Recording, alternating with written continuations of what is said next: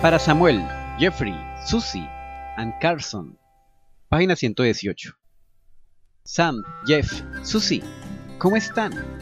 Gracias por las hermosas cartas y dibujos que me han enviado. Susie, te has vuelto muy buena escribiendo. Leyendo sus cartas, me he acordado de la carita que tenían cuando, en medio de la noche, me trajeron a escondidas un pedazo de pan al cobertizo. Estaba tan bueno. Querido Sam, siempre hablo de ti a los chicos del hogar de Pony y les cuento cómo te comprometiste a ser un buen hermano mayor. Aquí hay niños sin padres, pero nadie consigue convertirse en un hermano mayor como se debe.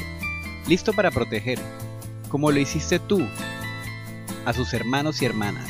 Incluso cuando Susi se enfermó de sarampión, has sido valiente, ayudante y si debo ser sincera, has sido mucho más útil que tu nervioso padre. También recuerdo que a costa de renunciar a tu padre, nunca dejabas que Jeff y Susie se quedasen sin merienda.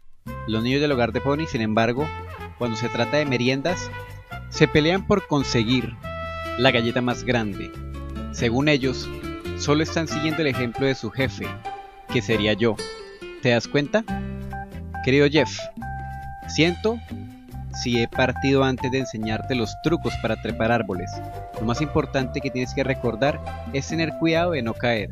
¿Entendido? También yo empecé así, practicando para escalar cada vez más rápido. Hasta el día de hoy, mi récord es de 3 minutos y 20 segundos en la escalada del gran árbol delante del hogar de Pony. Sigue invicto. Querida Susie, el hermoso retrato que me has enviado está expuesto ahora en la pared. La próxima vez, sin embargo, acuérdate de hacerme más bella. Sam, Jeff, ¿os habéis echado a reír? Vuestra Candy.